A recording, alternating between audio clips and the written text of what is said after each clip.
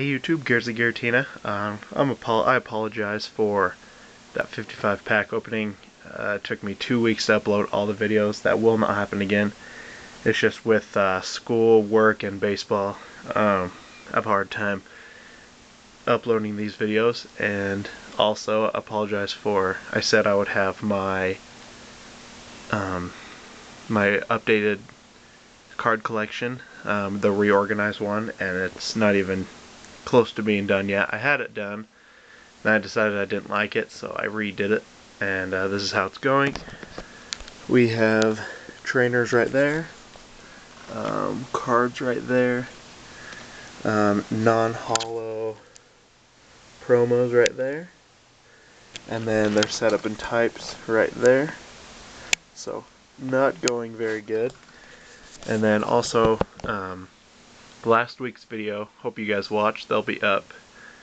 They will. They'll be up now. I'm uploading them right now as we speak. Uh, it was a Regigigas 10 and then three HS Unleashed packs and a Legends Awaken. So hope you guys can watch that. Um, other information. That I told you that I will start. If you are, I should say this. If you go to my channel, you will see um, my channel info. It'll say everything you need to know about Pokemon. Basically, I've just been oh, doing pack openings, so I will start doing um, like news and other things like that. I will start that probably next video. Um, I'll tell you about the new series of Pokemon they're coming out with. And then also, uh, I'm working on Pokemon Platinum right now.